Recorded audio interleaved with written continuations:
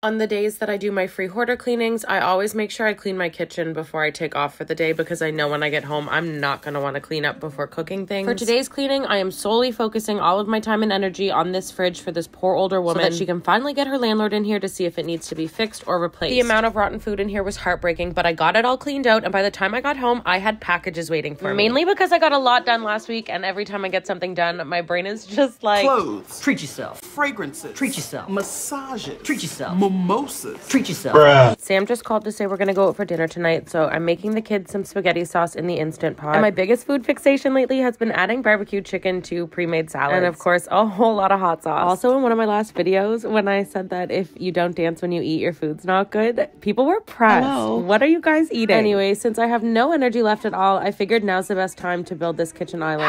I also bribed my kids with a snack tray to leave me alone long enough for me to be able to put together my new chair. I freaking love her, but now we are behind. There are too many people in this house for our fridge to be this bare, so grocery shopping it is. Then Jackson decided he wanted the spotlight and did this. Oh my god, bro. Oh, hell no, man. What?